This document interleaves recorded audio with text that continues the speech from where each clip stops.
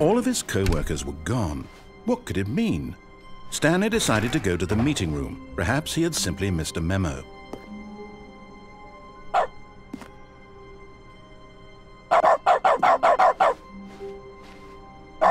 The good old bucket.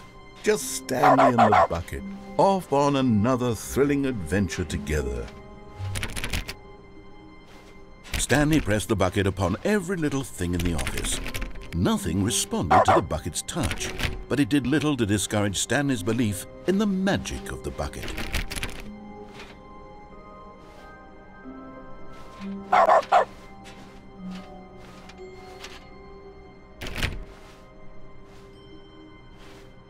Stanley clutched the bucket tightly to his chest and entered the door on it. This was not the correct way to the meeting room, but Stanley had felt the bucket calling to him, telling him that the employee lounge was simply the place to be.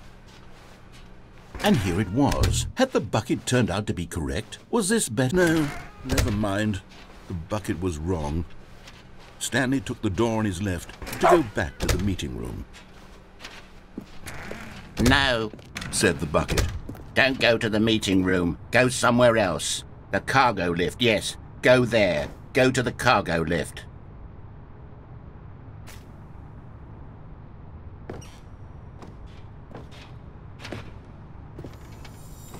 Okay, I'm going back to the name of these little Stanley figurines, and now I'm torn between Stanlerines and Figlies. What do you think, Stanley?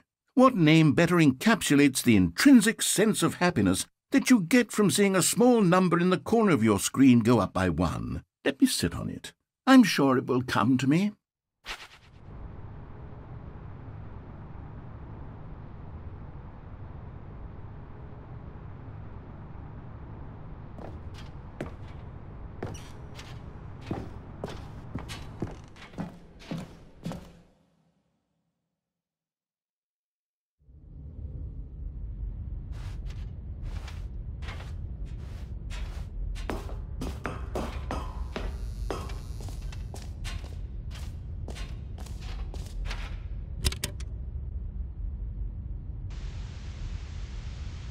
Okay, this is day number 295, tape number...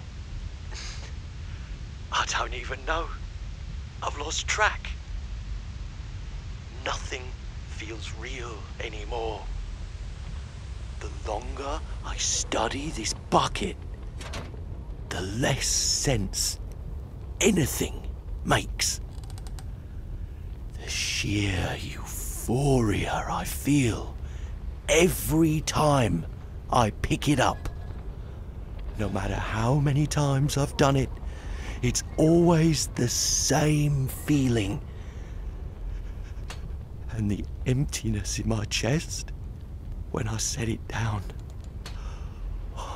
It doesn't make sense. There's no explanation for it. I still haven't figured out why I see the world so differently when this bucket is in my arms. Why everything feels so. What do I do with this treasure? I can. I can monetize it.